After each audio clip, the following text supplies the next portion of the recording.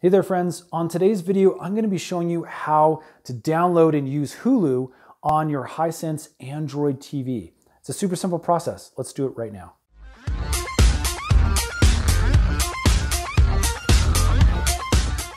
Okay, so as I mentioned, we're using the Hisense Android TV. And this is a very, very simple process. Again, as long as you have a smart TV, you're connected to your internet. At this top bar here, you can see we've got a bunch of different apps and I've already downloaded Hulu.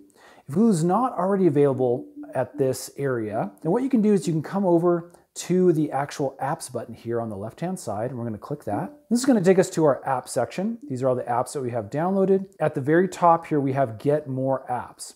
We're gonna click on that, and that is gonna take us to the Google Play Store where we can download all sorts of applications. This may take a second to load depending on your internet connection. And then you're gonna have a whole bunch of options for applications that work with your specific TV.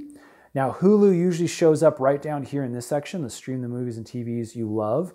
And then all you need to do is click on that specific application, and then you're gonna come to a window that allows you to open, uninstall, or in your case, it most likely will say download right over in this area. You can click that button and then your application will start downloading. Once it does, you can actually come back here to your home screen and you'll be able to find it in your little applications bar up here. Friends, I hope that helps.